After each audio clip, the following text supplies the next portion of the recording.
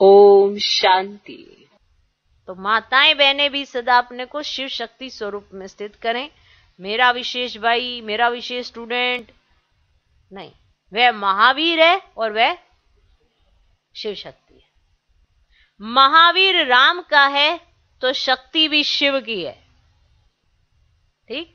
मैंने ये जो समृतियाँ है ना, ये जितना ज़्यादा पक्का होती हैं, उतना हमारी दृष्टिवृत्ति अच्छी हो जाती है। किसी भी शरीरदारी को देखते, मस्तक के तरफ़ आत्मा को देखो। बात आत्मा से करनी है, ना कि शरीर से।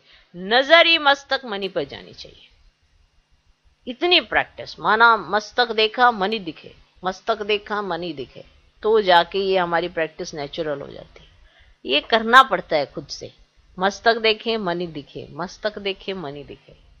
ये अपने अंदर, अपने लिए प्रैक्टिस करनी होती है और वो सारी चीज़ें याद भी रखनी होती है। कि नेचुरल वे में फिर आपको आधे दिन के बाद ना एक एहसास होगा कि हाँ भाई, ये सच में ये शरीर है, ये आत्मा। जितना ज़्यादा करते हो ना, उतना ज़्यादा अच्छा एहसास होता है, अच्छी फीलिंग आती है। तो आत्मा को देखना है, आत्मा से बात करनी है, शरीर को देखते हुए भी, शरीर के अंदर जो छिपी हुई मनी है, उसकी तरफ़ अटेंशन जाना चाहिए। जितनी प्रैक्टिस अब ये कोई कहे कि अरे कोई दूसरा मुझे ऐसे देख रहा है प्रैक्टिस आपको करनी है ना। दूसरे से आपको क्या लेना देना? आपकी वृत्ति शुद्ध होती जाएगी तो आपकी वृत्ति का प्रभाव आत्माओं की वृत्ति पे पड़ेगा ही पड़ेगा। ये है परमात्मा महावाक्य है भाई। यकीन करना सीखो और प्रैक्टिस करो, तब जाके कार्य होता है।